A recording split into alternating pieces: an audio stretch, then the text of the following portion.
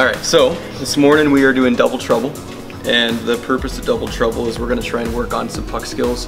So puck handling below the goal line, and then we wanna work on play reads from low to high plays. And so what we're looking for is if we have less time and space, let's say that the shooter comes in tight, then we're gonna come off that post in maybe a little more sealed position, versus if that player stays up top, we have more time and space and we wanna recover on our feet. And so the way that's gonna work, we're gonna have one goalie below the goal line on your left, other goalie on your right, and then the next goalie is gonna be in the net. Play is gonna start up top.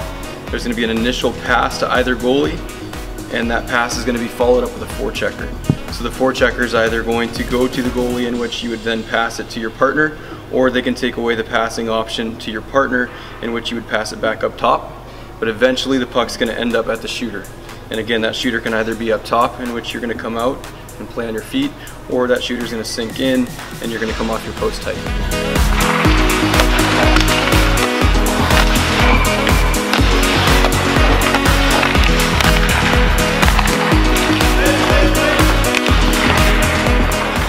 All right, you guys have any more questions than that?